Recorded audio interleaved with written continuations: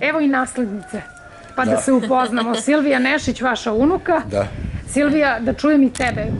Koliko te je negde uh, taj rad koji si videla od svog dede motivisao da i ti probaš da se zainteresuješ? Kada si u stvari počela da mu pomažeš? Pa, zapravo ja sam završila fakultet muzičkih umetnosti u Nišu i kada sam se vratila kući, ja nisam imala šta da radim.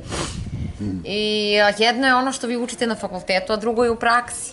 I znate, kad um, nikad ne bi trebalo smanjiti vrednost nekog ko nije školovani muzičar, već samo mu dati uh, dovoljno prostora da vam na svoj način prenese ono što ste vi možda naučili na fakultetu i dodatno vam pojasni neke uh, pojedinosti i činjenice.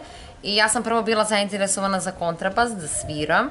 Deda mi je poklonio jedan kontrabas. Nažalost, ja ne vežbam mnogo jer nemam puno vremena, ali, da mi sviraš. ali koliko toliko znam. A što se tiče popravke i svega toga, ja moram da priznam da sam ja sam, da samo posmatram, dodajem, kupujem lepak kad je potrebno. Tako je. To je negde bilo i... lepak.